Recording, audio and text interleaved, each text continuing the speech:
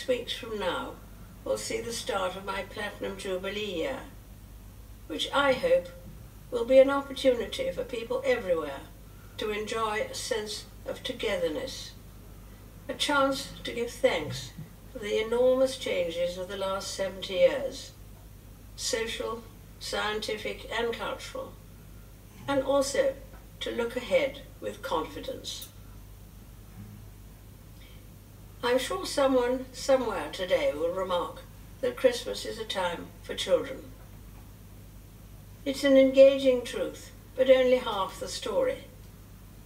Perhaps it's truer to say that Christmas can speak to the child within us all.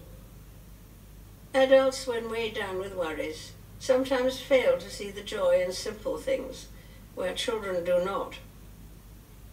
And for me and my family, even with one familiar laugh missing this year, there will be joy in Christmas as we have the chance to reminisce and see anew the wonder of the festive season through the eyes of our young children, of whom we were delighted to welcome four more this year.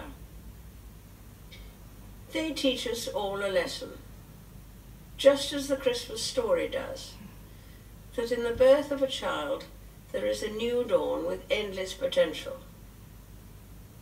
It is this simplicity of the Christmas story that makes it so universally appealing.